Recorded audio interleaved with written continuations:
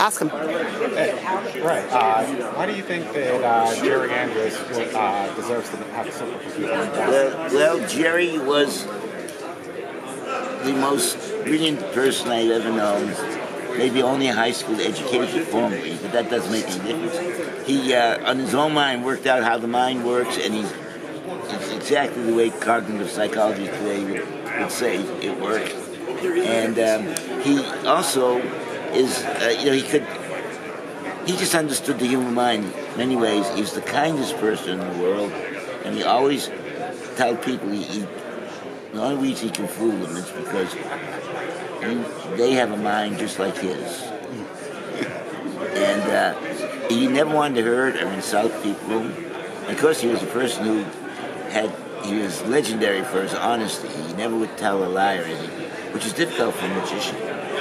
Uh, and I just one example, uh, how he would go through, had to go through how, they, how he had to go through extra steps in order, in order to preserve his integrity. And he told me that, and I told him, look, you don't need all those extra steps. He said, yes, I do. It's for my integrity. Uh, so one time he was, uh, we were driving to a conference. He was sitting in the driver's, in the passenger seat, as always, cause, and he sits in my car and we're going along the drive. He would had his own little bench and stuff, workbench that he took with him, put in the lab, fitted, fitted just right in the car. And then he would work all the time, would drive, creating new stuff and uh, scissors and uh, other things. And one time we were, we were driving and he showed me, I, I had to tell him, look, look here, we're driving on this highway, going very fast.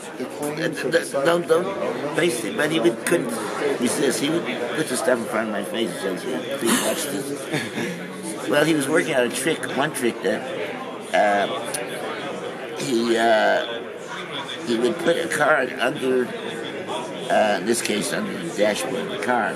But he ordinarily going to be sitting at the table, put it under the table, and um, then he uh, and would be in his lap when he was sitting at a table, and then he would um, uh, do something and the man, you know, vanish the car, do something as far as the audience is concerned, what's above the table.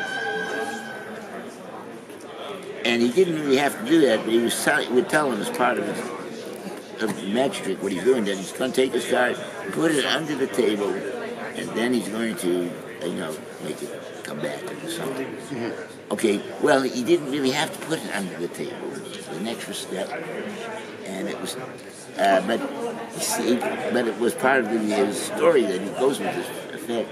And for Jerry, honest man, he, he says, well, he, I know I don't have to do that and put it under there. It's an extra step, but it's part of my story. I'm telling you that I'm doing that, and I have to do it.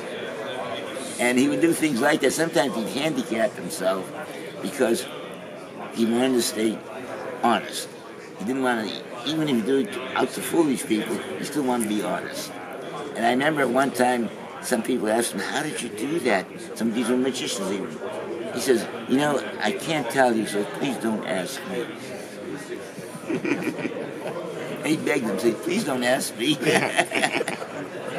but he was, uh, he was a wonderful man, but he was, people, people think he was idiosyncratic because he was very honest, but to a T overdid almost.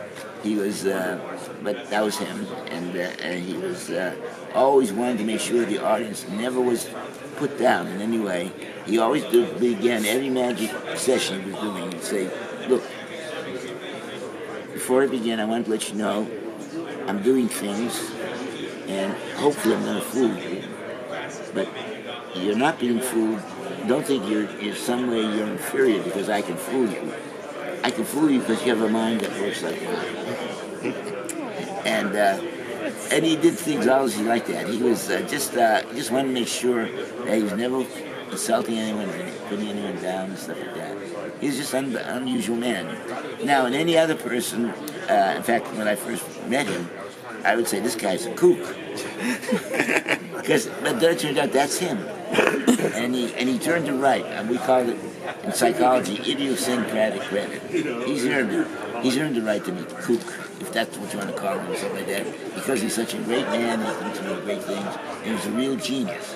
I didn't know many geniuses in my life, but Jerry was a genius. Thank you.